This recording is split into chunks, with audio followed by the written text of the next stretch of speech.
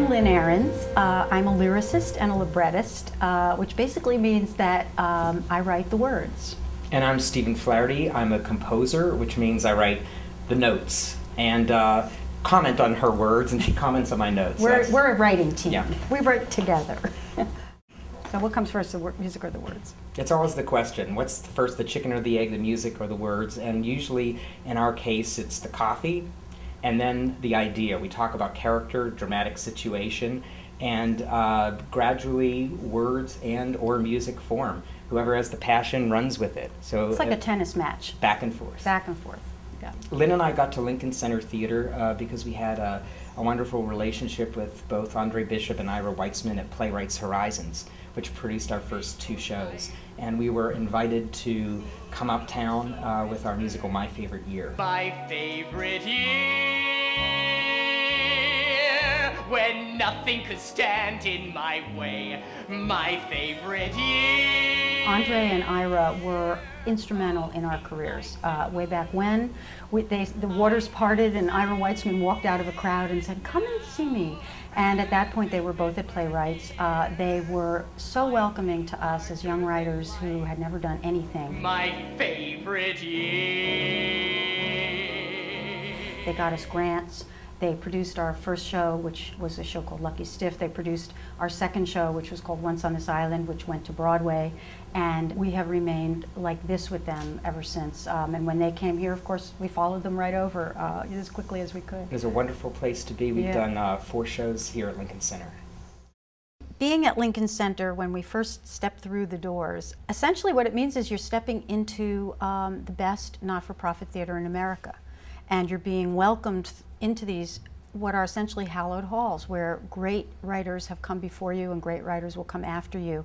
Um, it's a tremendous honor, and to this moment, I mean, we, we are discussing bringing another show here pretty soon if we can ever finish writing it. Um, it's it's just an honor that keeps on giving. Really, you know, it's it's uh, it, we consider it our artistic home. Well, there's something about Lincoln Center. For me, it's truly our national theater. And there was something Yeah. about walking in on the first day of our first show, my favorite year. And Bernie Gersten came up to me at the meet right, right before we did the meet and greet. You know, we had a bagel and like a cup of coffee, and he said, "I hope you remember this moment." He said, "And I hope you come."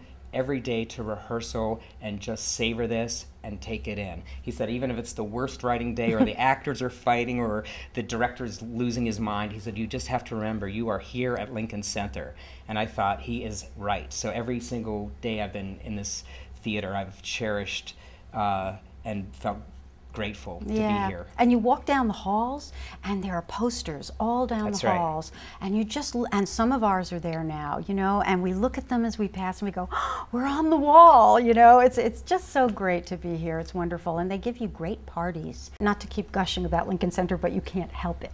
They are very supportive in terms of developing work, and um, I think we've done by now probably a thousand readings, seventeen hundred and fifty workshops, and I don't know. You know, we keep we come and we develop and we do a reading, and Andre will come afterwards and give you comments, and, and his comments are so astute and so lovely and gentle. And um, there are things like, Lynn, it's a beautiful pudding with too many raisins. A Man of No Importance uh, is a small gem of a film. I think for me, as the composer, it was the hardest musical I ever had to write because these are characters that are very secretive and they keep a lot of their secrets to themselves. So trying to find a musical in to that particular piece, you know, was quite challenging. So um, with Terrence McNally adding the character of Oscar Wilde, who was not in the film, uh, into the musical, all of a sudden. Uh, there was a way for our protagonist to speak, and there was a theatrical convention that made this show sing. And it's it's a show that I, I truly think is pro- probably one of my favorites that, I- that I've ever done. It was a true collaboration, I think, of, of two Irishmen and a Jew. Uh, Right, ex- and, exactly. you know, but it, it, it came out to be this beautiful play-like musical that I personally am so proud of and, and happy that we had the time, you know, to develop it properly. What we had was something, what we had was rare. Poetry and art in the air, and friends. Good morning, my dear friends.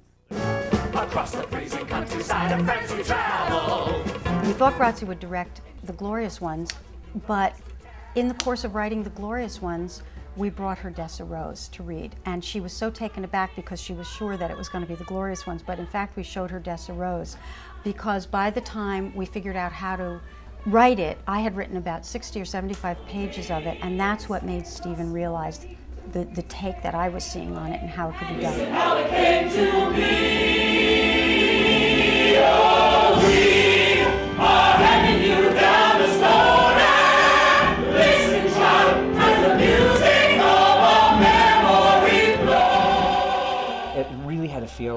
American opera. So Lynn had pretty much written uh, a rough first draft of Act One of Dessa Rose, and uh, then she handed it off to me, and I actually left the city, and I was in the country, and I was spending time reading it, uh, perusing it, spending quality time, and I waited for a magical moment to, for the music to be released, and it was actually in the middle of a thunderstorm and all of a sudden the, the, the, lights went off and there was literally lightning thunder a crazy storm and i sat at the piano with a tape recorder and literally uh, outpoured all of these musical themes one after another after another.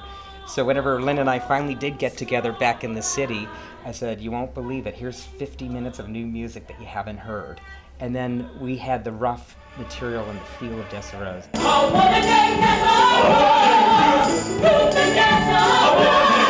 our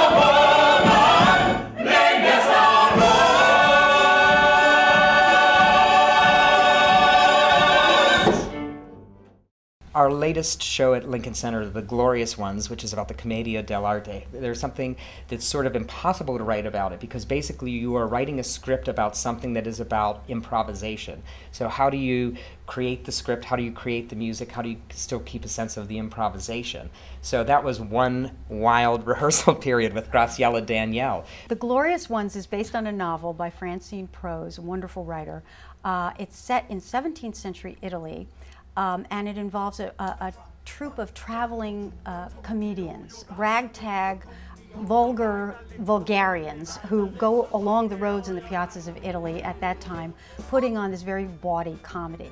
And I was so attracted to the book because of the, the world and the colors and so on and so forth. And I did a ton of research, but the weird thing is that when all is said and done, it's about us. It's about theater people. It's about what we dream about, what we want to be when we grow up, and what we want to leave behind when we go. See our show, La Commedia!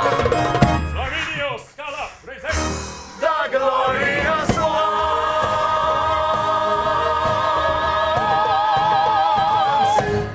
at the point where we were about to let go of the glorious ones, and we had, believe it or not, never met the author. And we said, you know, we, we, this might be a song cycle. This might not be a theater piece. And she said, you know, I've never heard any of the songs. I wrote her a I'd letter. I'd love to hear the songs. And we met uh, with with Francine Prose and her husband, and we played maybe five songs from the glorious ones and she literally burst into tears and she said the way these songs make me feel is how i felt when i was writing that novel. Right. they're so theatrical. There is so much story in it. And let's face it plot was never the strong suit for the novel in the, in the first place. And she said you must not abandon it. It needs to live on a stage. And then she said and so what? So i'm going to give you the rights for free. And you'll just have to do did. the show. And she did